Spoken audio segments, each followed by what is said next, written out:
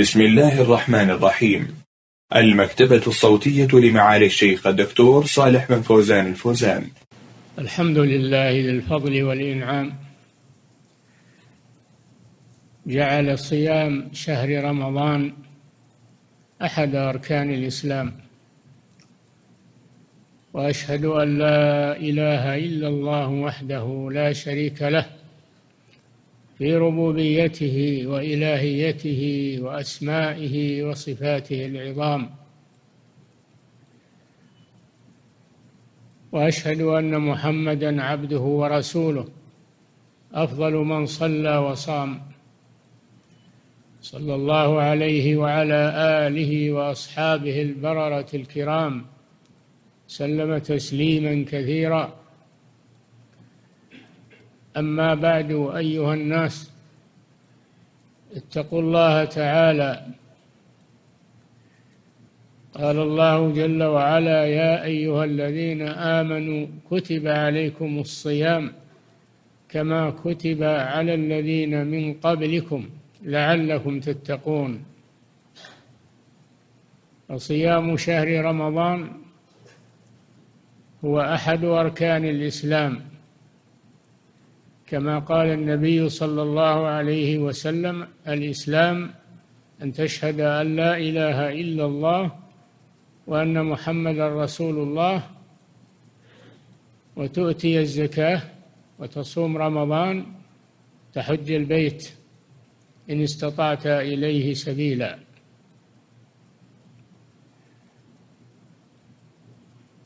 والصيام معناه الإمساك عن المفطرات الإمساك بنية عن المفطرات الحسية والمعنوية من طلوع الفجر الثاني إلى غروب الشمس.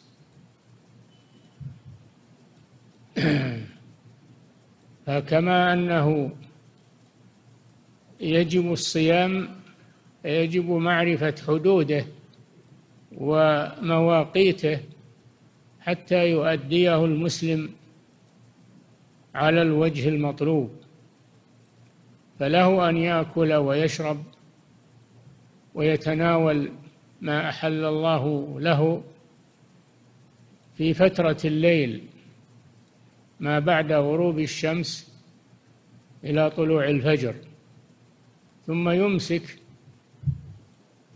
من طلوع الفجر إلى غروب الشمس. فيجب تقيد بهذا التوقيت الواضح.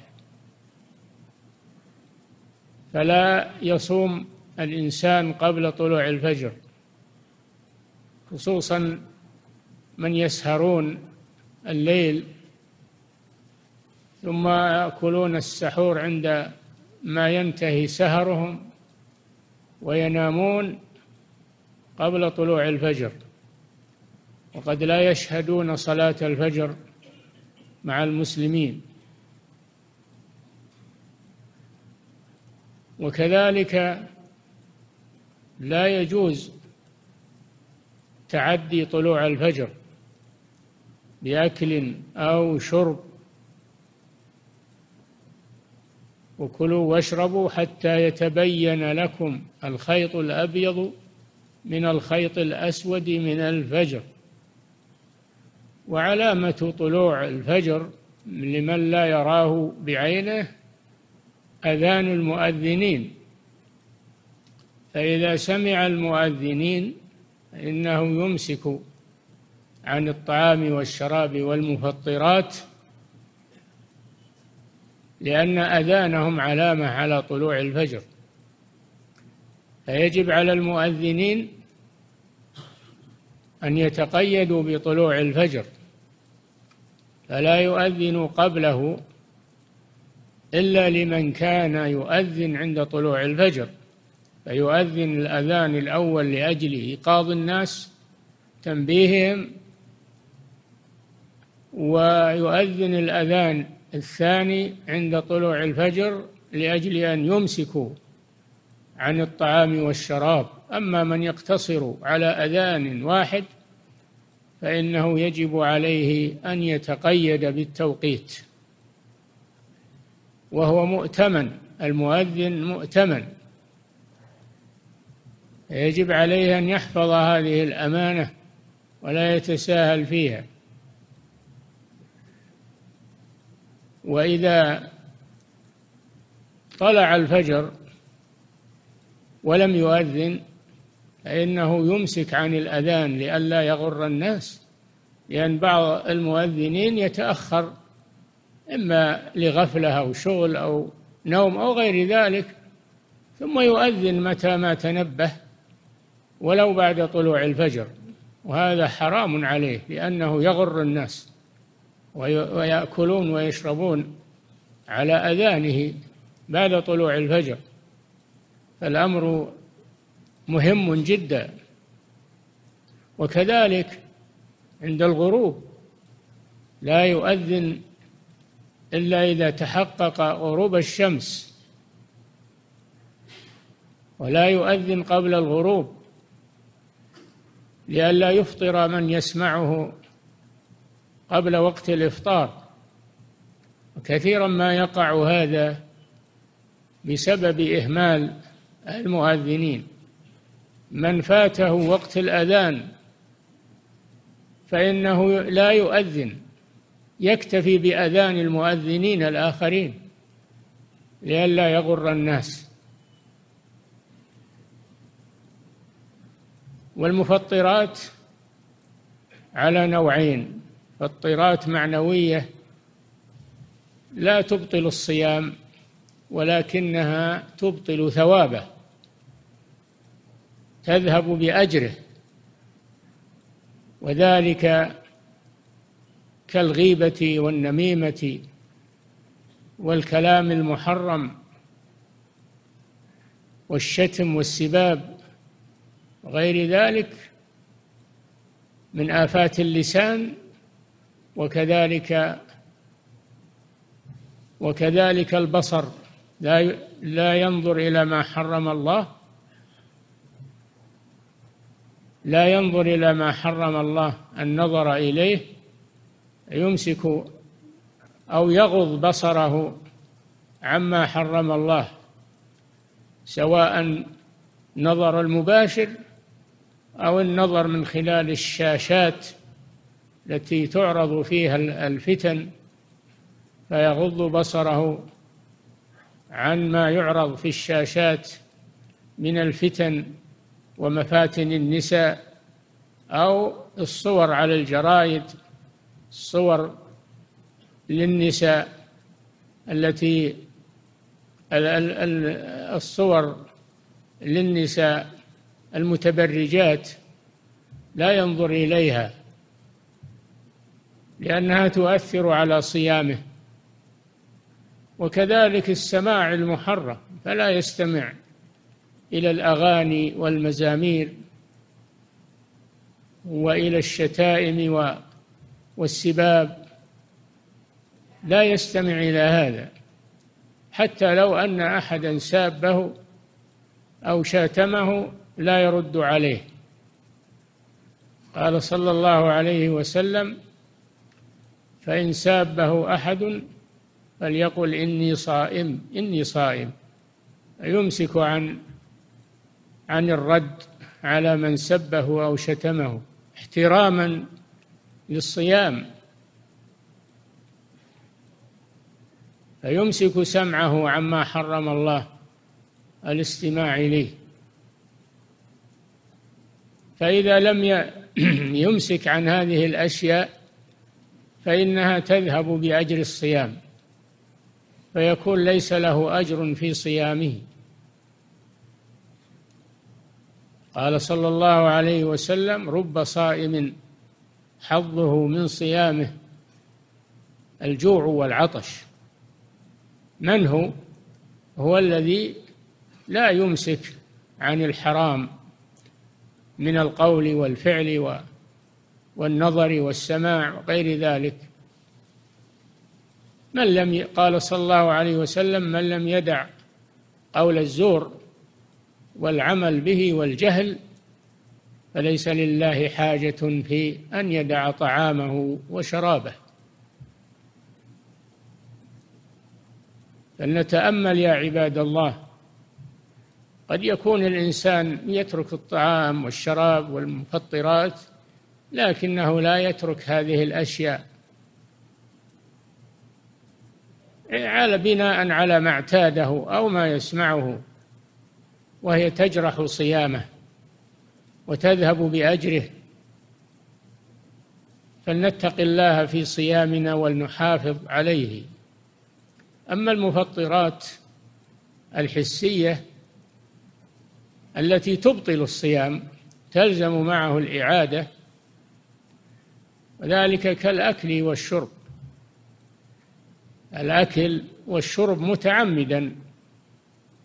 قال الله جل وعلا وكلوا واشربوا حتى يتبين لكم الخيط الأبيض من الخيط الأسود من الفجر. فإذا طلع الفجر يمسك عن الأكل والشرب. فإن أكل أو شرب متعمدا بعد طلوع الفجر بطل صيامه وتلزمه الإعادة. لأن يعني بعض الناس قد يتأخر ولا يتنبه للأذان ثم يأكل ويشرب بعد الأذان. يقول أنا سأصوم فيأكل ويشرب بعدما طلع الفجر فهذا لا صيام له. هو يلزمه الإمساك لكن لا صيام له. يلزمه القضاء لأنه تعمد الأكل والشرب بعد طلوع الفجر. أما من أكل أو شرب ناسيا فلا حرج عليه وصيامه صحيح. قال صلى الله عليه وسلم من نسي فأكل أو شرب وهو صائم فليتم صومه فإنما أطعمه الله وسقاه. ومثل الأكل والشرب ما يدخل إلى الجوف من سائر الأشياء من الأدوية الحبوب أو المشروبات الدوائية فإنها تفطر الصائم لأنها تدخل إلى جوفه فهي في حكم الأكل والشرب. كذلك الإبر المغذية. الإبر المغذية سائر المغذيات تفطر أو تفطر الصائم. لأنها بمعنى الأكل والشرب. كذلك غسيل الكلى. فإنه يستصحب سوائل و ويستصحب سوائل وكذلك تحاليل أو محاليل تدخل إلى جوفه فحينئذ يفسد صيامه ولكنه معذور بالعلاج لكن يقضي هذا اليوم لأنه مريض والمريض يفطر. المريض رخص الله له أن يفطر ورخص له أن يغسل الكلى ولكن يقضي هذا اليوم. وكذلك من المفطرات من المفطرات الاستفراغ استفراغ ما في المعدة عن طريق الفم. بأن يتسبب في القيء.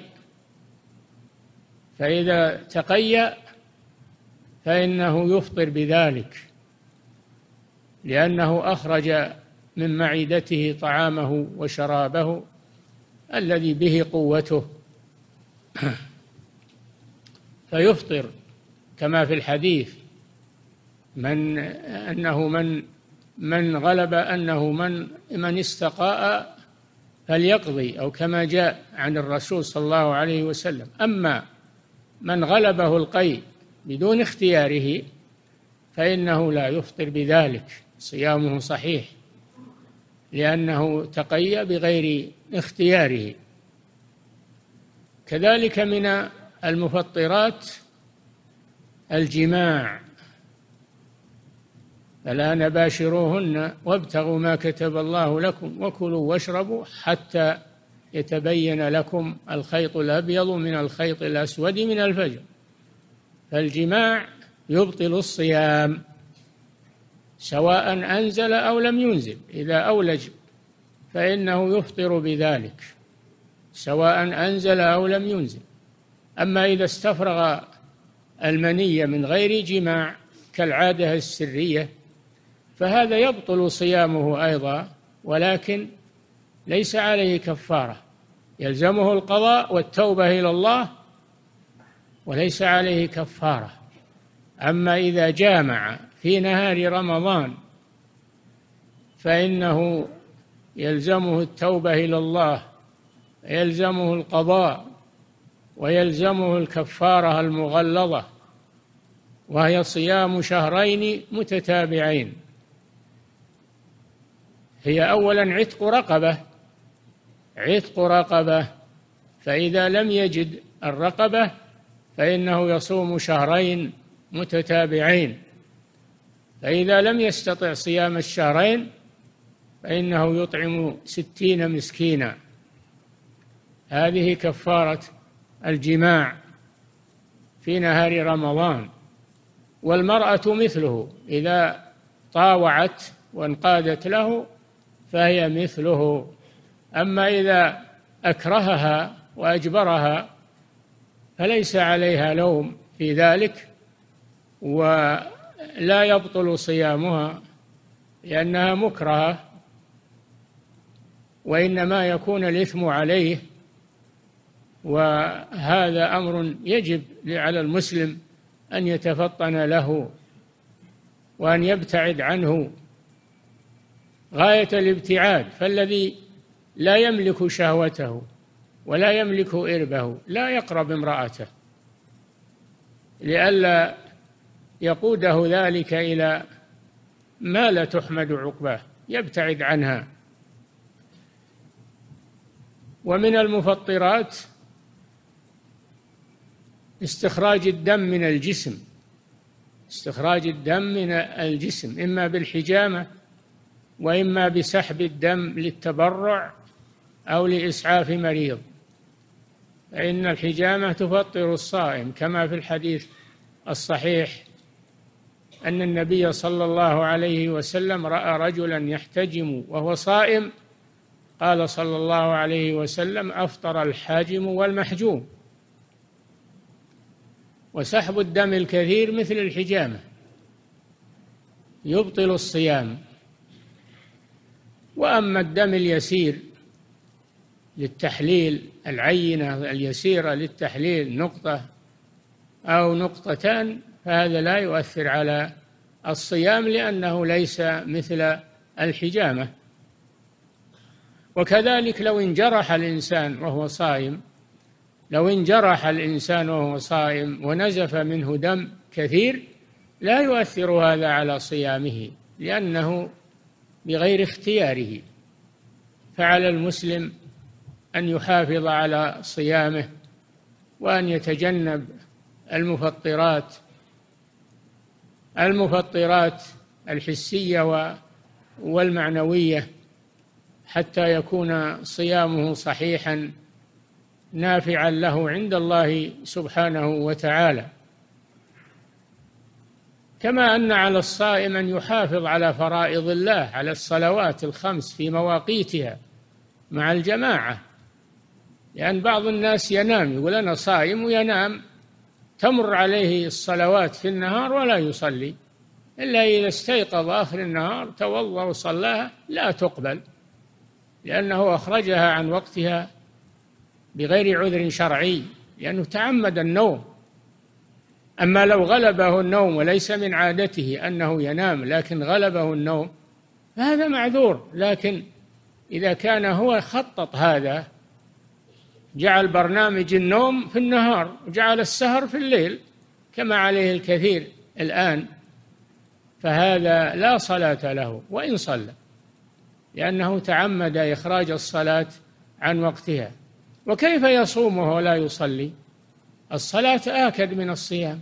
الصلاة هي الركن الثاني من أركان الإسلام وأما الصيام فهو الركن الرابع من أركان من أركان الإسلام. فليحافظ المسلم على صلواته والذين هم على صلواتهم يحافظون. حافظوا على الصلوات والصلاة الوسطى وقوموا لله قانتين. الصلاة الصلوات أهم من الصيام. ليحافظ عليها في مواقيتها مع الجماعة وأما النوم فيجعله في الفترات التي بين الصلوات. وعليه أن يتقي الله في ذلك وأن يهتم بدينه وبصيامه وبصلاته حتى يكون صيامه صحيحا نافعا. ولا يكون مجرد عطش وجوع من غير فائدة. اتقوا الله عباد الله. أعوذ بالله من الشيطان الرجيم. يا أيها الذين آمنوا كتب عليكم الصيام كما كتب على الذين من قبلكم لعلكم تتقون.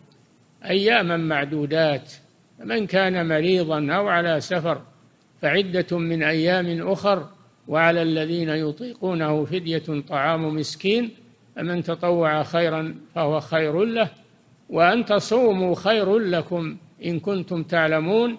شهر رمضان الذي أنزل فيه القرآن هدى للناس وبينات من الهدى والفرقان فمن شهد منكم الشهر فليصمه ومن كان مريضا أو على سفر فعدة من أيام أخر يريد الله بكم اليسر ولا يريد بكم العسر ولتكملوا العدة ولتكبروا الله على ما هداكم ولعلكم تشكرون. بارك الله لي ولكم في القرآن العظيم ونفعنا بما فيه من البيان والذكر الحكيم. أقول قولي هذا وأستغفر الله لي ولكم ولجميع المسلمين من كل ذنب. فاستغفروه إنه هو الغفور الرحيم. الحمد لله على فضله وإحسانه وأشهد أن لا إله إلا الله وحده لا شريك له وأشهد أن محمدا عبده ورسوله صلى الله عليه وعلى آله وأصحابه سلم تسليما كثيرا. أما بعد أيها الناس اتقوا الله تعالى تعلمون بارك الله فيكم أن الشهر قد انتصف ومضى نصفه الأول ولا ندري ماذا أودعنا فيه فعلينا أن نحاسب أنفسنا وننظر فيما قدمنا. يا أيها الذين آمنوا اتقوا الله ولتنظر نفس ما قدمت لغد واتقوا الله إن الله خبير بما تعملون. فمن كان أحسن في أول الشهر فليتم الإحسان في آخره والأعمال بالخواتيم. ومن كان مسيئا فباب التوبة مفتوح فليبادر بالتوبة. والله جل وعلا يقبل التوبة ممن تاب. فانظروا ماذا أودعتم في أول شهركم وواصلوا عملكم في آخر شهركم وأكملوا العدة واشكروا الله سبحانه وتعالى على نعمته. وانظروا ماذا حصلتم من شهر رمضان. شهر رمضان شهر الخيرات والبركات والناس يتفاوتون مع هذا الشهر. فمنهم من فمنهم من يستغله بطاعة الله ومنهم من يغفل عن ذكر الله ومنهم من يفرط فيه. ولكن باب التوبة مفتوح للجميع. فعليكم بالتوبة. وبادروا بإصلاح العمل فإن الله سبحانه وتعالى تواب رحيم. واعلموا أن خير الحديث كتاب الله وخير الهدي هدي محمد صلى الله عليه وسلم وشر الأمور محدثاتها وكل بدعة ضلالة. وعليكم بالجماعة فإن يد الله على الجماعة ومن شذ شذ في النار. إن الله وملائكته يصلون على النبي. يا أيها الذين آمنوا صلوا عليه وسلموا تسليما. اللهم صل وسلم على عبدك ورسولك نبينا محمد. وارض اللهم عن خلفائه الراشدين الأئمة المهديين أبي بكر وعمر وعثمان وعلي وعن الصحابة أجمعين وعن التابعين ومن تبعهم بإحسان إلى يوم الدين. اللهم أعز الإسلام والمسلمين. وأذل الشرك والمشركين ودمر أعداء الدين واجعل هذا البلد آمنا مطمئنا وسائر بلاد المسلمين عامة يا رب العالمين. اللهم احفظ علينا أمننا وإيماننا واستقرارنا في أوطاننا وأصلح سلطاننا وول علينا خيارنا واكفنا شر شرارنا. اللهم إنا نعوذ بك من شر الفتن ما ظهر منها وما بطن. اللهم احمنا. اللهم احم بلادنا وبلاد المسلمين من أذى الكفار وكيد الأشرار. اللهم من أراد الإسلام والمسلمين بسوء فأشغله بنفسه. واردد كيده في نحره واجعل تدميره في تدبيره. إنك على كل شيء قدير. ربنا تقبل منا. إنك أنت السميع العليم. عباد الله إن الله يأمر بالعدل والإحسان وإيتاء ذي القربى وينهى عن الفحشاء والمنكر والبغي يعظكم لعلكم تذكرون وأوفوا بعهد الله إذا عاهدتم ولا تنقضوا الأيمان بعد توكيدها وقد جعلتم الله عليكم كفيلا إن الله يعلم ما تفعلون فاذكروا الله يذكركم واشكروه على نعمه يزدكم ولذكر الله أكبر